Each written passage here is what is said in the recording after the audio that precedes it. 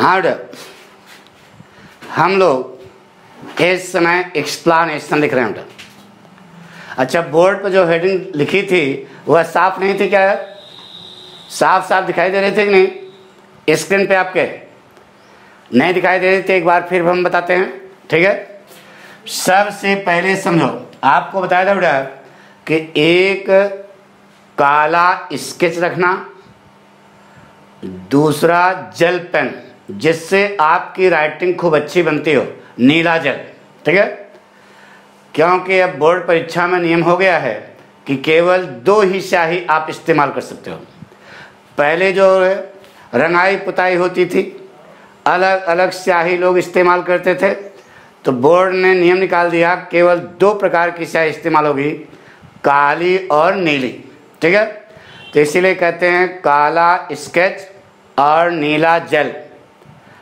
अब पन्ना बिल्कुल चौकस होना चाहिए ठीक है तो जब बताया था एक बार फिर समझो यह आपका पन्ना है ना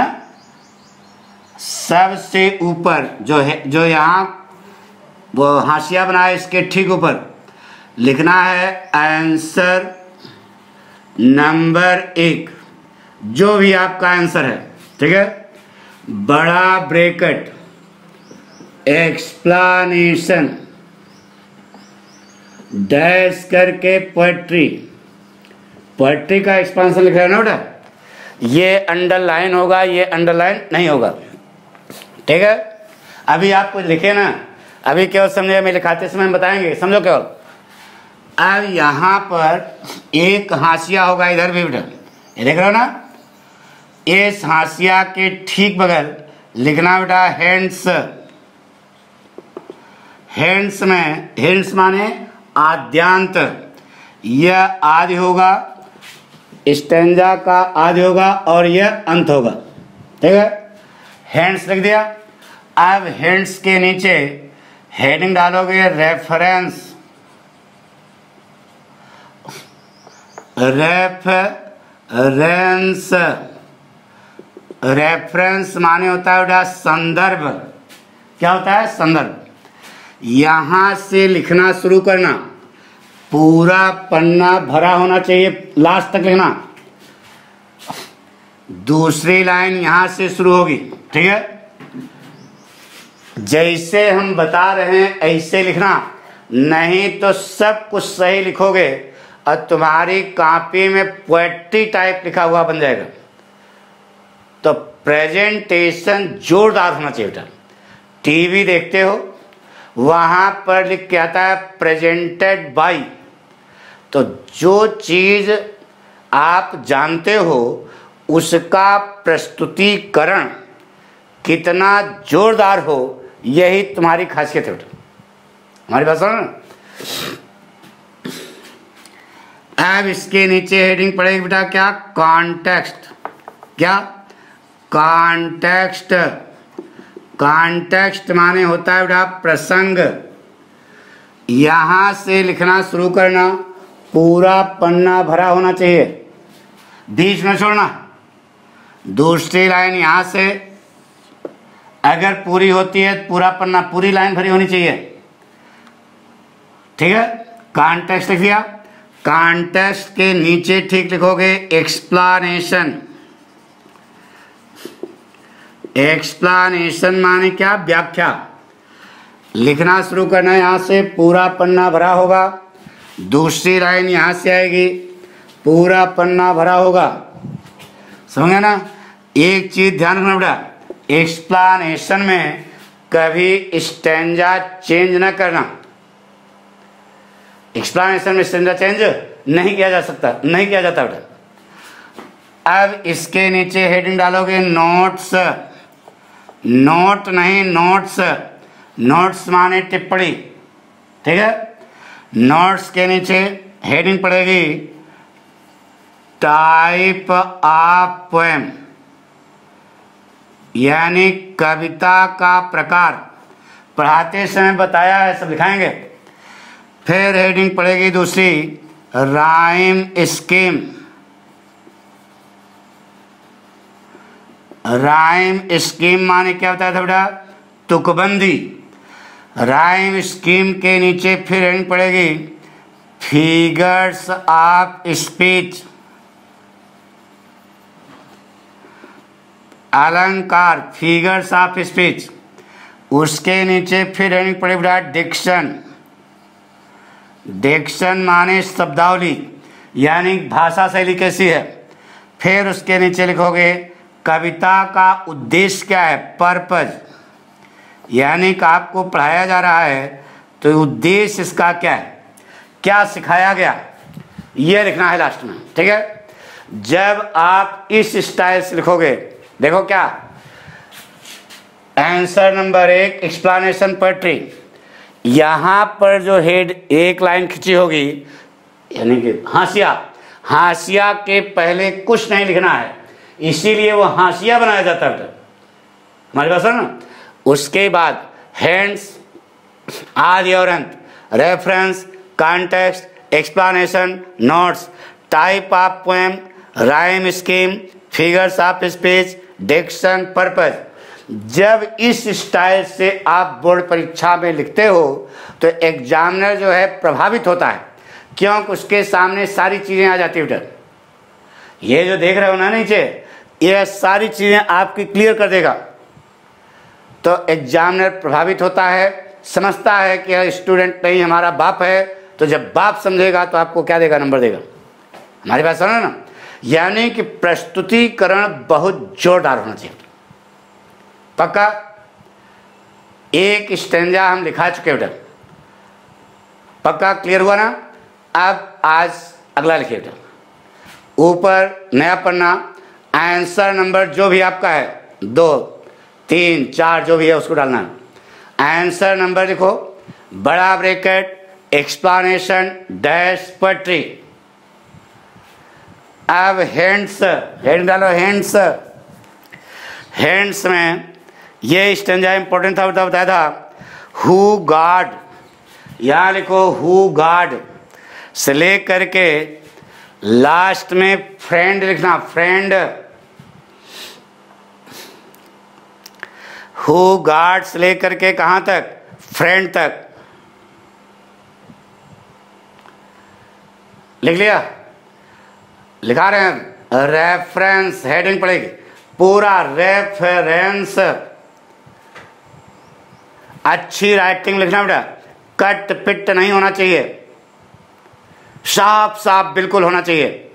रेफरेंस कोलन एंड डैश लिखो बेटा शुरू करें these didactic lines didactic D I D A T D A D um, I D A C T I C D I D A C T I C didactic lines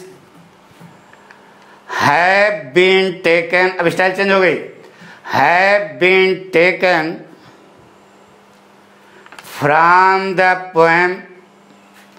from the poem inverted comma में character of happy life inverted comma बंद character of happy life ये जो inverted comma में करोगे अगर आप गोरी pens करते हो गोरी मतलब नीली पेंस है तो डबल लगाना नहीं ठीक तरीका बताए बेटा स्केच पेन से किससे काली स्केच से सिंगल इन्वर्टेड कामा कर देना ये देखो single inverted comma character of happy life composed by ये काली स्केच करोगे ज़्यादा अच्छा लगेगा सिंगल इन्वर्टेड कामा लगाना बेटा कंपोज कम आगे लिखो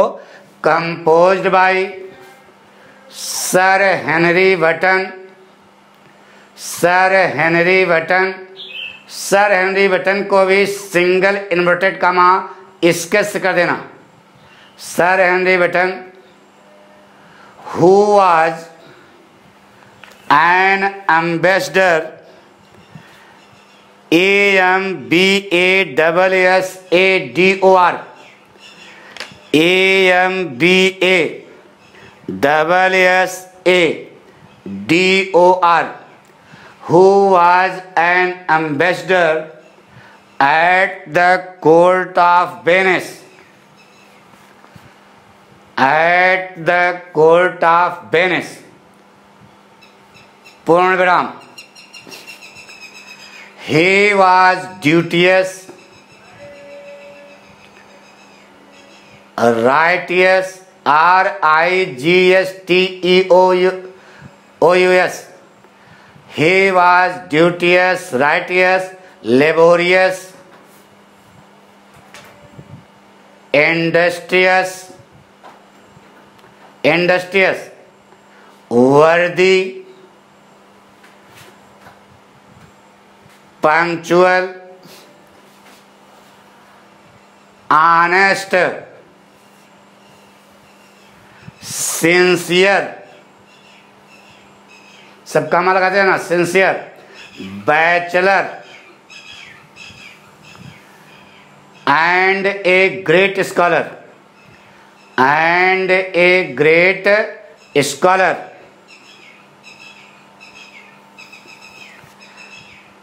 लिख रहे हो ना रेफरेंस हो गया फिर से एक बार डालो these didactic lines have been taken from the poem character of a happy life compose by sir Henry Wotton who was an ambassador at the court of Venice he was duteous righteous laborious industrious, worthy, punctual, honest, sincere, bachelor and a great scholar.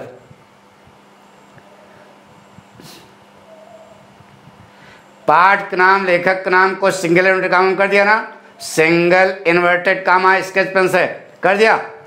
Good अब दूसरी heading डालो context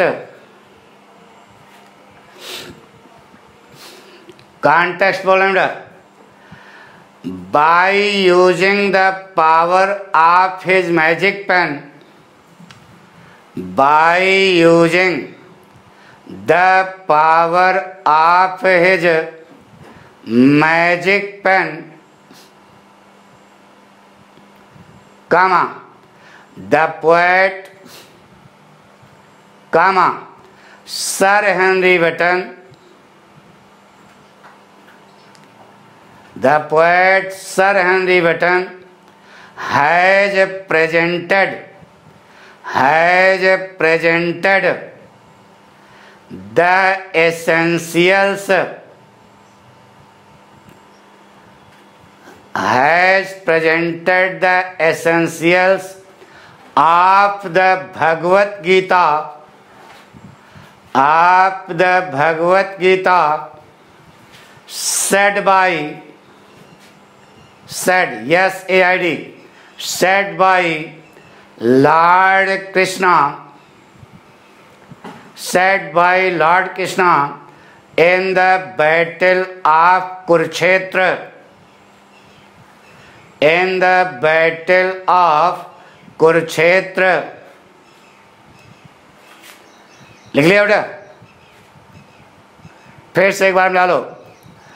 By using the power of his magic pen, the poet Sir Henry Wotton has presented the essentials of the Bhagavad Gita said by Lord Krishna in the battle of kurchet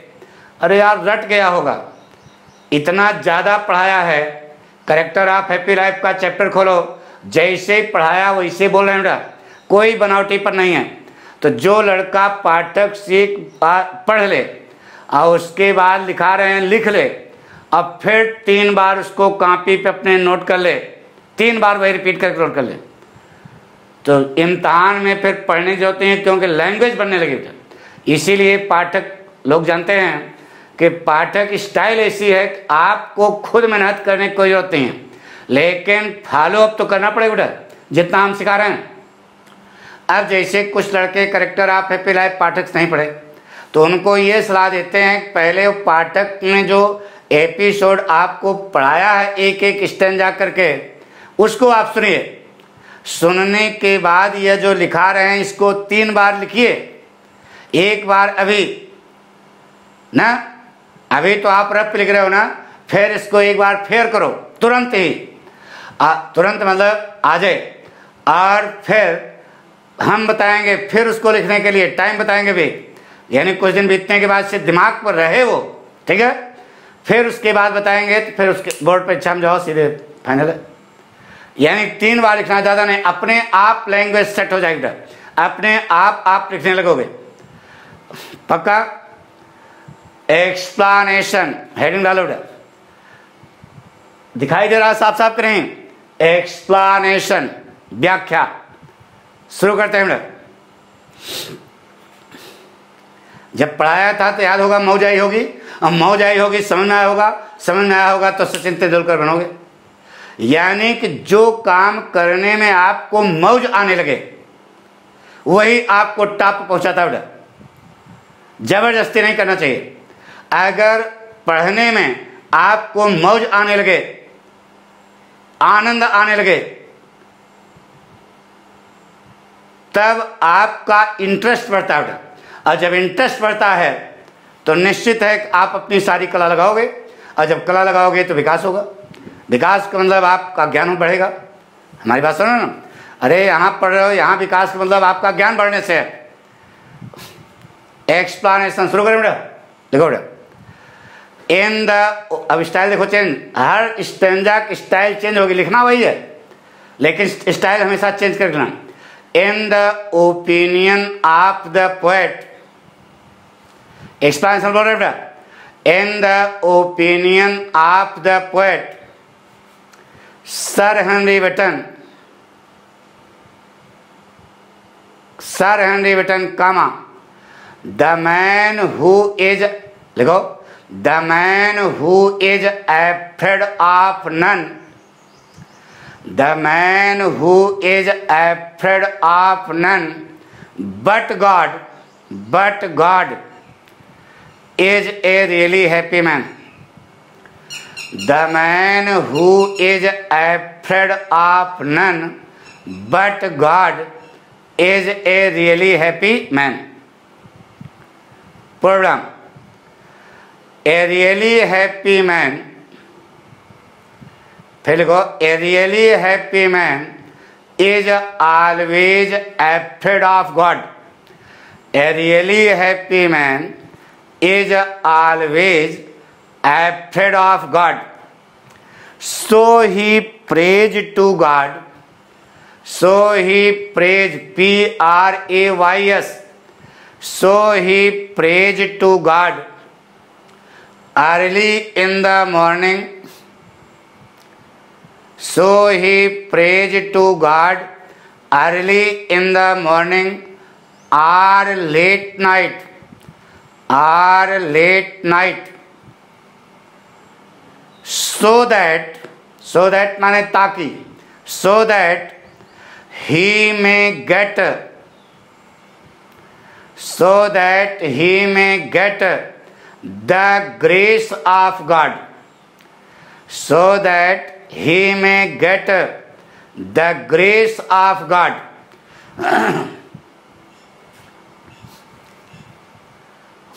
Pardon. He does not want,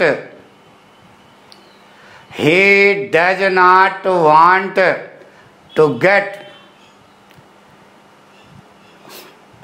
he does not want to get anything He does not want to get anything.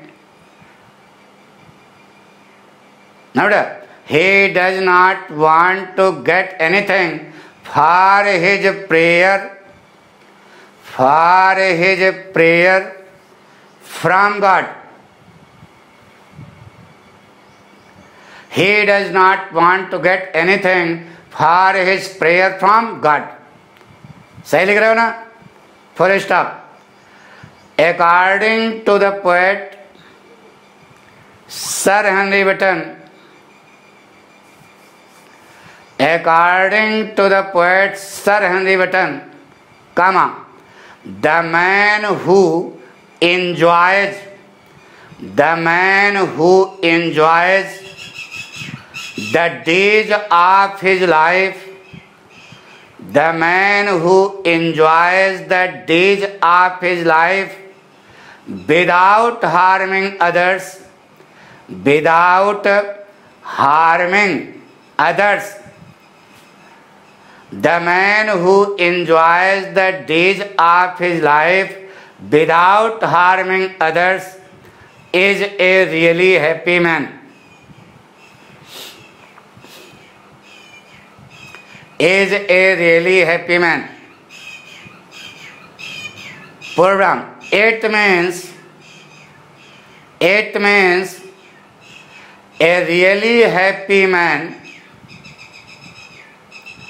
never harms others. A really happy man never harms others. हुआ दूसरों को भी नुकसान नहीं पहुंचाता he passes पूर्णांग बात he passes the days of his life he passes the days of his life to read the books to read the books written by to read the books written by the learned people learned माने विद्वान people माने लोग he spends he passes the days of his life to read the books written by the learned people program he spends spends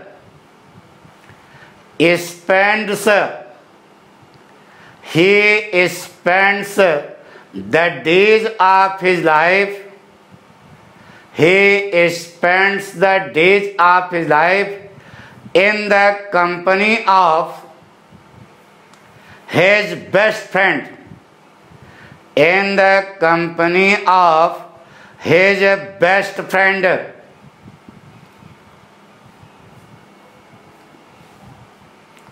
program it means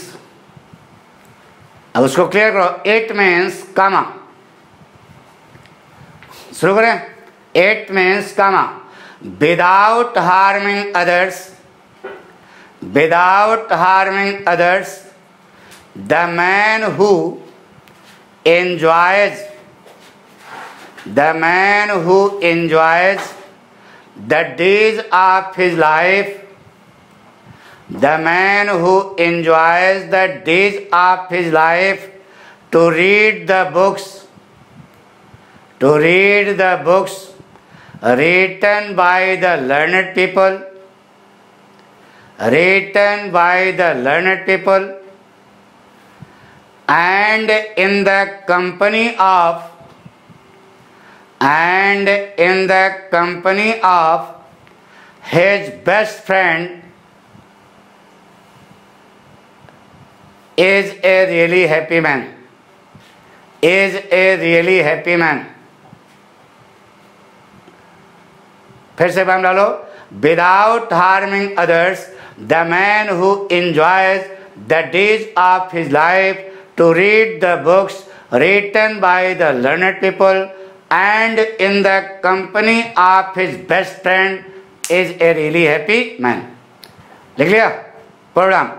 These are the essentials. These are the essentials of the Bhagavad Gita said by Lord Krishna, said by Lord Krishna in the battle of Kurukshetra. in the battle of Kurukshetra. Note कर लिया पक्का अब नीचे explanation के ठीक नीचे यहां पर नोट्स नोट्स माने क्या होता है थोड़ा विशेष या टिप्पणी कोलंडस नोट्स छोड़ दो अब नोट्स के नीचे लिखो type of point type of poem जितनी हेडिंग पड़ी हैं सब अंडरलाइन होनी चाहिए यहीं पर नहीं फिजिक्स केमिस्ट्री मैथ जितना पढ़ते हो अगर हेडिंग डाल रहे हो तो अंडरलाइन होना चाहिए आगे कोलन एंड डैश होना चाहिए तो टाइप ऑफ पोएम हेडिंग डालिए और आगे लिखो बेटा a didactic poem a didactic poem ऊपर लिखा था ब्रेकट में हिंदी में लिखो उपदेशात्मक कविता उपदेश उपदेश देने वाली कविता उपदेशात्मक कविता लिख लिया टाइप ऑफ पोएम के नीचे लिखो राइम स्कीम स्पेलिंग देख करके R H Y M E S C H E M E rhyme scheme छोटे अक्षरों में लिखना होगा A B comma A B rhyme scheme हमेशा छोटे अक्षरों में लिखी जाती है बेटा A B comma A B full stop फिर उसके नीचे लिखो फिगर्स ऑफ स्पीच अलंकार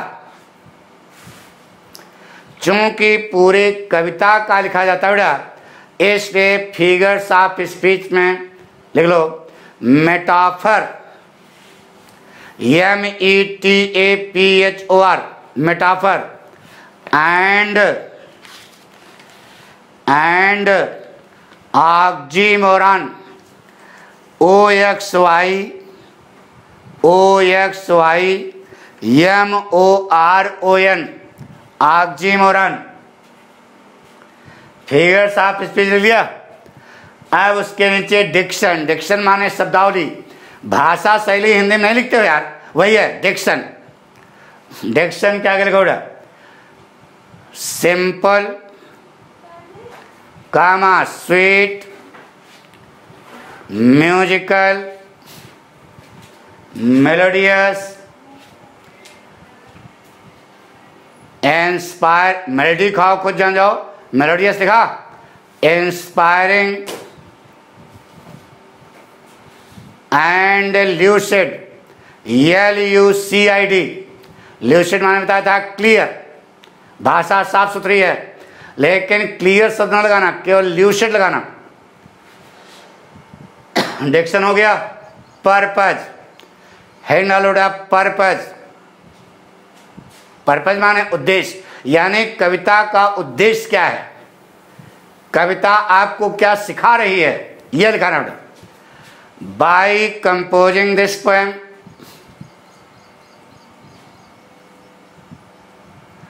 By composing this poem, the poet Sir Henry Wotton has taught us The poet Sir Henry Wotton has taught us a number of useful lessons,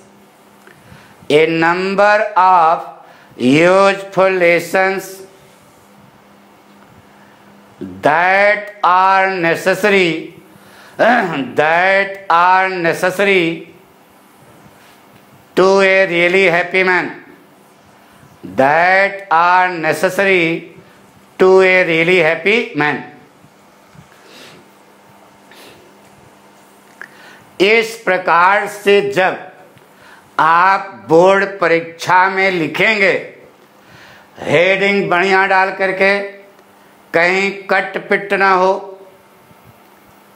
writing अच्छी होनी चाहिए तो निश्चित है कि आप जो है स्कोर अच्छा करेंगे आपको अच्छे नंबर मिलेंगे यानी कि पूरा अडाप्ट करना उठा अगर नहीं अडाप्ट करोगे और पाठक से पढ़ रहे हो